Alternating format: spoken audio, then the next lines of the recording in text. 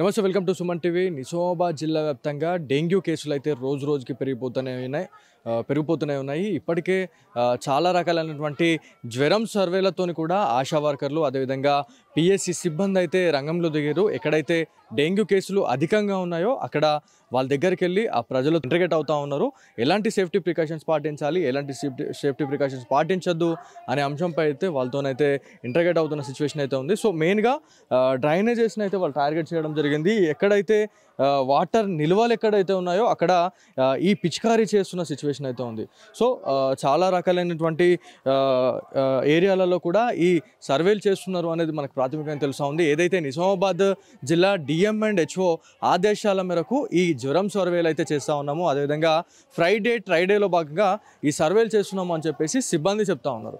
So చాలా రకాలైనటువంటి drainage సమస్యలు అదేవిధంగా రోడ్లపై నిలిచిపోతున్న వాటర్లో ఈ జ్వరానికి సం ఏదైతే మనకి దోమకు సంబంధించిన లార్వా ఉండడం వల్లే ఇది ఎక్కువైపోతుంది విజృంభిస్తుంది అని చెప్పేసి మనకు తెలుస్తూ ఉంది సో చాలా చాలా మందితో కూడా వాళ్ళు ఇంటర్గేట్ అవుతా ఉన్నారు స్ప్రేస్ కొడుతూ ఉన్నారు.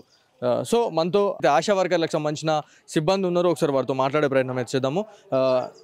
ఫ్రైడే ట్రైడేలో భాగంగా మీరు సర్వేలు చేస్తూ ఉన్నారు. ప్రజలు రెస్పాన్స్ ఎట్లా ఉంది వాళ్ళ దగ్గర నుంచి? రెస్పాన్స్ మంచిగానే ఇస్తారు సార్. వాళ్ళు మేము చెప్పినట్టు తింటారు. ప్రతి శుక్రవారము అన్ని నీట్గా ఉంచుకుంటారు. నీళ్ళని నిల్వనీయకుండా ఉంచుకుంటారు సార్. నిజామాబాద్ జిల్లాలో ఇప్పటికే డెంగ్యూ కేసులు రోజు రోజుకి పెరిగిపోతున్నాయి. సో వాళ్ళకి జాగ్రత్తలు ఏం చెప్తున్నారు? మీరు వాళ్ళ దగ్గరికి వెళ్ళిన తర్వాత మీరు?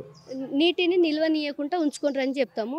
ఏదన్నా గలీజ్ వాటర్ ఉంటే అందులో బాల్స్ అవి పెట్రోల్ పెట్రోల్ బాల్స్ వేసి ఇది చేయమంటాము.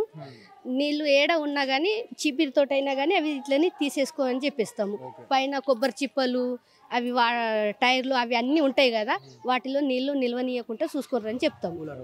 కూలర్లల్లా మళ్ళా పూల కుండీలల్లా అవి అన్నిట్లా. చేస్తూ ఉన్నారు మీరు మీ ఏరియాలో.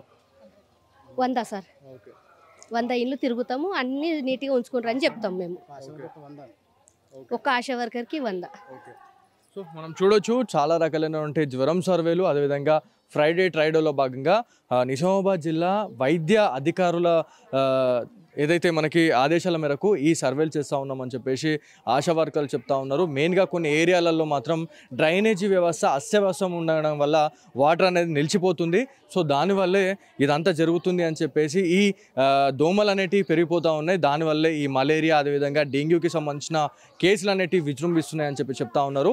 మెయిన్గా ఒక రోజు ఒక ఆశా వర్కర్కి దాదాపు వంద వంద ఇండ్లనైతే విజిట్ చేయాలా? అక్కడికి వెళ్ళి వాళ్ళు అవగాహన సదస్సు నిర్వహించాలి అనే కాన్సెప్ట్లో భాగంగా వీళ్ళు అన్ని చేస్తున్నాము అని చెప్పి చెప్తా ఉన్నారు. సో నిజామాబాద్ జిల్లాలో ఇప్పటికే డెంగ్యూ కేసులు అయితే చాలా వ- వెన్నులో వణుకు పుట్టిస్తుంది అని చెప్పి చెప్తా ఉన్నారు. సో డెఫినెట్లీ జాగ్రత్తగా ఉండాలి. లేకపోతే జ్వరాల బారిన పడే అవకాశం ఉంటుందని చెప్పేసి నిజామాబాద్ వైద్య అధికారులు అయితే చెప్పడం జరుగుతూ ఉంది. సో ఇది ఇవాళ Suman TV special story. Camera person కార్తిక్తో Balu Suman TV Gautam Nagar నుంచి.